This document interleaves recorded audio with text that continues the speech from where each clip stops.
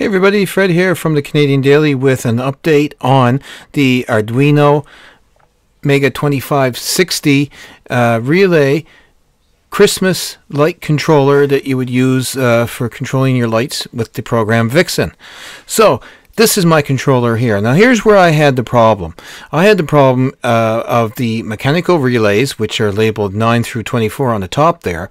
And basically uh, it was causing a ground feedback loop uh, through the hub, uh, the USB uh, hub, back to the PC, overloading and shutting off the COM port. So the way around it is doing this, and I'll show you right now. Okay, so you can see here with the little point of the arrow, the blue USB cable going to the Arduino from the powered hub. Now you must use a powered hub coming from your PC. Um, this is so you don't drain all your current from the 5 volt adapter off your Arduino going to the relays to trigger them because they use a lot of current to trigger. So power everything separately. I must say and, and go over and over and over. Everything should be powered separately. That includes your hubs, your Arduino. Every relay board should have its own power. And if you can manage to put a uh, power block to each and every relay, the more the better. Um, the higher the current uh, block, the better as well too. Uh, right there where the USB is plugged in, the light will kick out um, and lose COM port and communications uh, when too much power is drained uh, from the Arduino or and the PC. Sometimes there is a ground loop uh, created uh, if you hook up the ground of the Arduino to the relay boards. So these mechanical boards I have them set up in a way now that will work and this is how you do it. You do not connect up the ground. So let's look at them a little more closely. So right here you connect up your main power which is a separate 5 volt power supply connected to your ground and your JDVCC.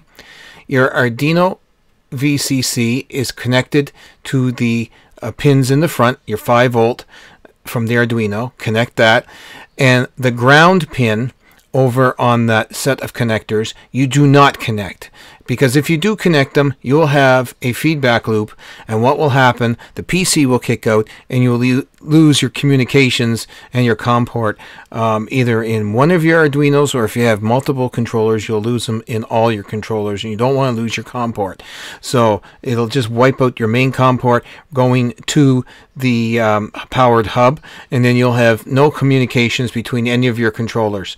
It creates a ground loop somehow of some sort and I did some research on this and found it in one of the forums and it kicks back current to the PC. Now this is only when you have your Arduino boards set up and it's run by USB from your computer and you're using Vixen or maybe one of the other programs as well that run your Christmas lights. Now if you're running a Falcon Pi player uh, off a um, Raspberry Pi, I don't know if this would apply. I have, don't have one. I can't test it. I don't know. But running it directly, uh, directly from the PC, that is, it will kick out if you have that ground connected. Now I've been having it on all day set up like this as I have here without the ground connected to the Arduino and it has not kicked out. So my COM ports have remained um, in communication with the Arduino, so that's a good thing. However, I'm changing these mechanical relays out over to the uh, solid state relays, or SSRs as they're called, um, because they're noiseless. And as I have this built in my night table, which is next to my bed, and I run it, um, you know, just for every night for Christmas during the month of uh, December and part of November, I just don't like the click, click, click, click, click, click, click going on and on and on. So, um, you know, you can change it to the uh, SSRs, and um, they uh, they're set up different anyway, so you won't have that issue. Or I haven't found that issue with just the SSRs. Put it that way. Um, it just seems to be that with the mechanical ones, you get that issue of that feedback loop. So. Um, that's what I can say on that. Uh, That's one way to solve it. Is uh, either you can wire it like I have here for mechanical relays, if you know you're doing it uh, that way, um, because they are much cheaper. Like two mechanical relays are about the price of one solid state relay. But the solid state relays um, are much better um, because they can turn off and on much quicker. So you can do uh, a lot more um, controlling of your LEDs, shall we say, than um, you know the mechanical ones just turning on and off because there is a little bit of delay with the mechanical relays um, opening and closing. Now these also uh, mechanical relays you have to wire them backwards because these are active low relays. The ssrs make sure you you can buy them as active low but make sure you buy it as active high relays. Um, the mechanical ones are harder to get in active high but you can trick them. And that's basically um, what you do there is on the output at the relay output you have your common and you have a normally closed and a normally open.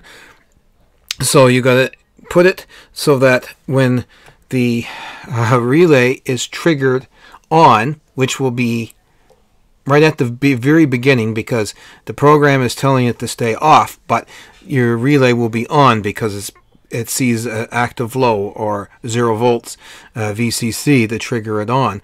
So um, therefore, it's an active low and it's triggered on, and your your normally closed uh, relay, if I remember right. Um, so as shown in the diagram here, you want to connect it to the normally closed terminal and your common terminal to work properly. So when the relay is off, your light will be on. Sounds confusing, but it works. When the relay shuts off, in, in the theory, when the relay shuts off, the circuit opens up, but the relay closes. It's slightly confusing, so it's working backwards.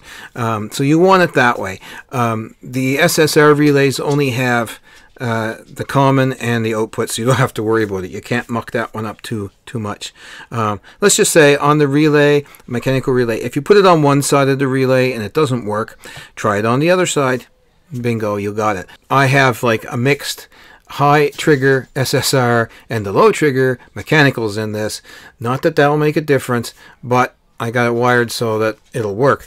Now, like I said, this video here is to show you how to set them up uh, so that they'll stay on and your COM ports will stay on. You don't want your COM ports to diode on you when the show is running because that's just friggin' annoying and you don't want that to happen. So the only way to do it is do it this way. Now some say that to tie your grounds from your Arduinos and not your plus uh, VCC.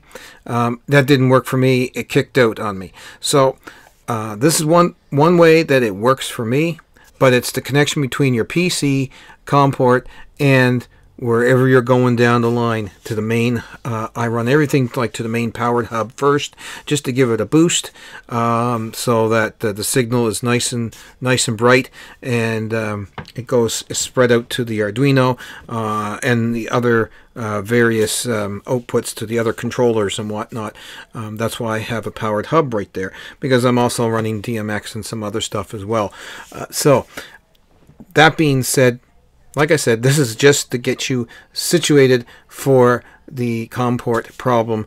Um, and like I said, there has been a lot of research that I've done on this, and this is the best solution that I can come up with, and it holds good. But I am going to change those out um, and probably use those two uh, sets of relays in uh, another controller as a separate controller um, for a prop um, outside in the yard. And um, if it goes down on me or something while the show is running, that particular prop, that's okay. I won't worry about it. But I'll know. And it won't be mixed with SSRs. So ideally, I would say go SSRs all the way. But, you know, time and money, and money is the big key here. So thanks for listening, and I'll be back with another tutorial. Hope you find this very helpful. If you do, please comment, like, and subscribe down below. Smash that subscribe button, of course. So, and the um, bell for notifications. So when I do another tutorial, you'll be first to hear about it. Take care, stay safe, and we'll see you again very shortly.